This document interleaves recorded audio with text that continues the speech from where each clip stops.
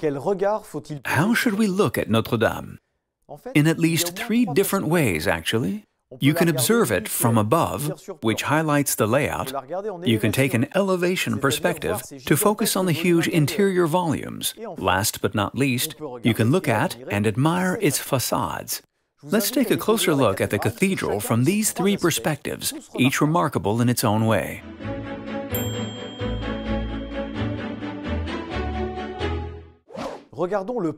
Let's look at the cathedral layout, as it was début de la defined when construction began in 1163.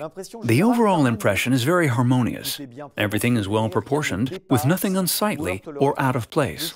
The chosen design was for a very large church arranged in five adjoining volumes called aisles. As we will see, it had all the characteristic features of a traditional Gothic cathedral. For example, this space is the choir. This is where the clergy would sit during ceremonies. Dans la partie The rounded part, known as the apse, accommodates the altar. Running around the il y a choir is a double ambulatory. That is to say, two galleries serving chapels devoted to various saints. La partie de la The eastern part of the trouve à l'est cathedral is called the chevet. Quand on la regarde de The chevet resembles a elle a la forme rotunda when viewed from the exterior. L'idée est d'évoquer le This was intended as an le temple de evocation of the Holy Sepulchre or the Temple of Jerusalem, often represented as a circular building. To the west of the choir, here is the transept. This transverse aisle gives the cathedral the shape of a cross. It also offers direct access to the residence of the canons to the north and to the episcopal palace to the south. Further west is the nave, with its double side aisles. This is the area open to the general congregation. It is used for ceremonial entrances by clergy members and dignitaries. We can see that it is not very much longer than the choir, and can deduce that the cathedral was primarily designed by the clerics as an instrument for the liturgy. Like the ambulatory, the nave is lined with chapels, which were added in the 13th and 14th centuries.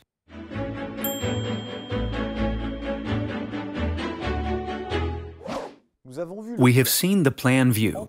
Now let's enter the cathedral on the ground floor through the great doors to the west. One is immediately struck by the sheer scale of the volume and elevations, and by the exceptionally large number of columns. The vaults reach a height of 33 meters, roughly equivalent to a 10-story building. In this image, we can see that the elevation levels are different. Above the large arcades, there is a tribune floor. Above these tribunes, some significant changes have been made over the years. In the 12th century, a floor with rose windows was created above them, as you can see on the right, and higher up, a further tier of clerestory windows. In the 13th century, the clerestory windows were enlarged and the rose windows removed. Constantly building and embellishing the cathedral consumed countless tons of stone, wood, glass, lead, and so on. How did the structure not collapse under its own weight? Back in 1163, no one had ever built a Gothic cathedral with five aisles and 33 meter high vaults. To better understand the building's strength, let's look at this cross section of the nave. We can clearly see how Notre Dame's structure resembles a pyramid, with the outer side aisles supporting the inner side aisles. Similarly, the tribunes above the side aisles support the nave. To strengthen the whole, flying buttresses were built at several levels from the outset. Their role is to transfer loads outward. The vaults are based on a square design and are reinforced by a double transverse arch. As a result, these vaults have six constituent elements. They are very slender, barely 10 to 15 centimeters thick to reduce their weight.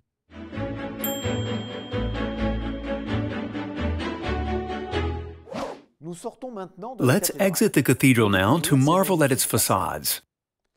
There are three facades, the largest of which faces west. Its decor is particularly rich, as it was through this facade that the congregation and ceremonial processions entered. This is naturally where the forecourt or parvis is located. The western facade boasts two towers and has three portals on its lower level. These three portals are decorated with dozens of sculpted figures. We'll come back to those later. A gallery extending over the portals accommodates statues of kings, of which there are 28 today. The harmonious rose window is a prodigious achievement. measuring 9.6 meters in diameter, it majestically crowns the statue of the Virgin Mary flanked by two angels. This is only fitting, as the building is entirely dedicated to her. Let's turn our attention to the two towers. If you look closely, you can see that they are not symmetrical. The North Tower is broader than its southern counterpart. A high gallery extends between the two towers, giving a convincing impression of lightness. The towers were originally intended to be topped with spires, but these were never built. As it stands today, the Notre Dame's west facade is a masterpiece of quite remarkable proportions. Now let's look at the north and south facades of the transept. The facades we see today were created in the middle of the 13th century. These intricate stone and glass laceworks, typical of the rayonnant Gothic style, are embellished with a gallery and a large rose window. Turning to the south facade, which also dates from the 13th century, we know that its architect was Jean de Chelles. We know this because he received the honor of having his name engraved in a commemorative inscription, something quite unique in the Middle Ages. Together, we have explored the layout and structure of the Paris Cathedral which at the time of its construction was the largest and tallest in the world. As you have seen, it is not only huge, but also solidly built. Its grace and delicate appearance are conducive to contemplation and spiritual elevation. It should come as no surprise to learn that it is visited and admired by 12 million people every year.